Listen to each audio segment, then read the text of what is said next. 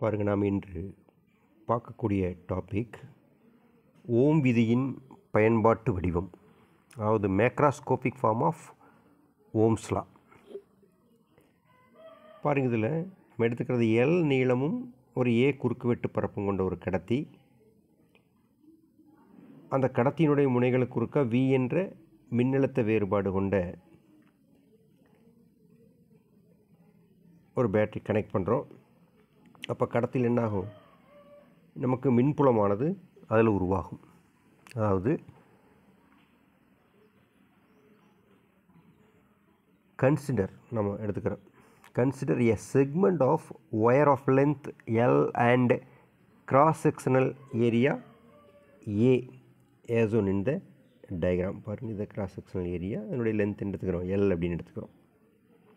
Right when a potential difference V is applied when a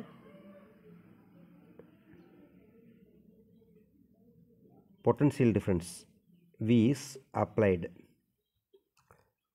across the wire a net electric field is created in the wire which constitutes the current அப்போ இதில் உருவாகக்கூடிய அந்த மின்புலம் இருக்கு இல்லையா அதுதான் என்ன இதில் மின்னோட்டத்தை உருவாக்கும் அப்போ அந்த கடத்தி முழுவதும் உள்ள இந்த மின்புலம் எப்படி இருக்குது அப்படின்னு பார்த்தோம்னா சீரானதாக இருக்கும். அதாவது ஃபார் சிம்பிளிசிட்டி நம்ம என்ன எடுத்துக்கிறோம் அப்படின்னு பார்த்தோம்னா we assumed that the electric field is uniform and the entire length of the wire so the potential difference the voltage V can be written as எப்படி எழுதலாம்? V is equal to E L அப்படின்னு எழுதலாம். பாருங்கள் இந்த formula we equal to நம்ம என்ன எழுதலாம்?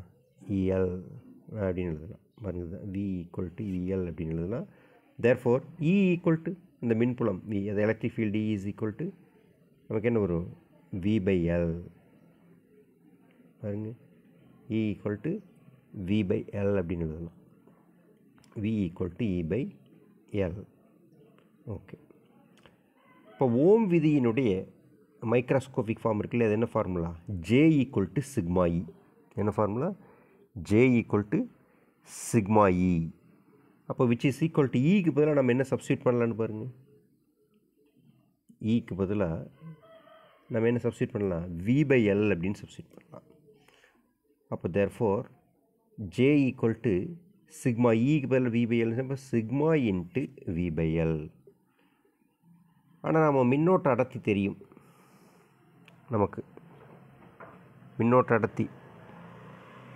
அதாவது magnitude of current density J equal to என்ன formula I by A J equal to I by A இது மின்னோட்ட அடர்த்தி கரண்ட் டென்சிட்டி அப்படின்னு சொல்லுவோம். அப்போ தேர்ஃபோர் அதில் சப்ஸ்டியூட் பண்ணும்போது இந்த ஜேனுடைய வேல்யூ பதில் என்ன பண்ணுறோம்? ஐ பை ஏ அப்படின்னு சப்ஸ்டியூட் பண்ணுறோம். ஜேக்கு பதிலாக ஐ பை ஏ இந்த ஜேக்கு பதிலாக இங்கே என்ன பண்ணுறோம்? ஐ பை ஏன்னு சப்ஸ்டியூட் பண்ணுறோம். அப்போது which is equal to j into sigma e ஃபார்முலாவில் அப்போ sigma into v by l. Therefore v equal to நமக்கு என்ன formula கிடைக்கும்? V equal to i into இது பாருங்க v equal to இந்த i into l by sigma e அப்படின்னு கிடைக்கும். L by sigma e. இப்போ இந்த எல்லுங்கிறது நீளம் கான்ஸ்டண்ட்டு அதே மாதிரி சிக்மாங்கிறதும் நமக்கு தெரியாத ஒரு கான்ஸ்டன்ட் அப்போ ஏ அதனுடைய ஏரியாவும் கான்ஸ்டன்ட் அப்போ இதை என்ன சொல்கிறோம் எல்லாமே கான்ஸ்டன்டாக ஒரு கான்ஸ்டண்ட்டாக குறிக்கிறோம். அந்த கான்ஸ்டண்ட்டை என்ன எடுத்துக்கிறோம்? ஆர் அப்படின்னு எடுத்துக்கிறோம். அந்த கான்ஸ்டன்ட் ஆர் இந்த கடத்தியினுடைய மின்தடை அப்படின்னு எடுத்துக்கிறோம். அதாவது அந்த ஆறுங்கிறது நம்ம கடத்தியினுடைய மின்தடை எடுத்துக்கிறோம். இப்போ மின்தடைங்கிறது என்ன? ரெசிஸ்டன்ஸ் அப்படின்னு சொல்கிறோம் ஆர் அப்படிங்கிறது என்ன? ரெசிஸ்டன்ஸ் மின்தடை. இதுதான் மேக்ராஸ்கோமிக் ஃபார்ம் ஆஃப் ஓம்ஸ்லா அப்படின்னு சொல்லக்கூடியது. வி ஈக்குவல் டு ஐஆர் இருக்கு இல்லையா அதுதான். இதுவே ஓம் விதியினுடைய பயன்பாட்டு வடிவமாகும்.